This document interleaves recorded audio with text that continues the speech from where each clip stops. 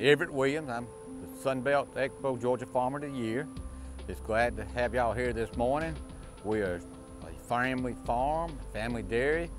Uh, we're in the third generation. I have two sons that are back in business with me and we milk cows for a living. I was definitely born into the business. I was born in, uh, Daddy started milking cows in 58 when he was a cotton farmer. He changed over to milking cows. When I was growing up, uh, we milked 50 cows and then we progressed to 100 cows. And when I came back, I finished University of Georgia in 74, went and worked at a dairy till 78, and came back here and we went from 100 cows to 150. And then since then, we just continue adding cows and we've added family. This last major increase from about 1,000 to 1,700 cows was after both boys had finished college and they'd come back and were committed to staying in the dairy business. It's tremendous. I mean, what better legacy can you have than have sons and daughters, both our daughters are somewhat involved, just not full time, that, that are willing to, to share your dream. It's great.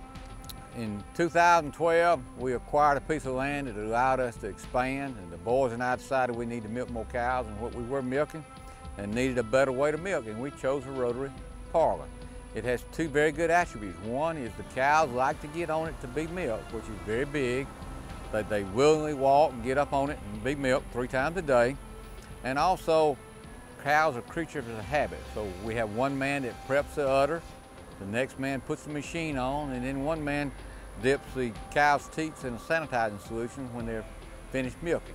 And those three people stay in one spot pretty much, and therefore the cows are milked in a very routine manner, which is good for them. We got sand that uh, we replenish three times a week. It takes about 50 pounds of sand a day to bed a cow.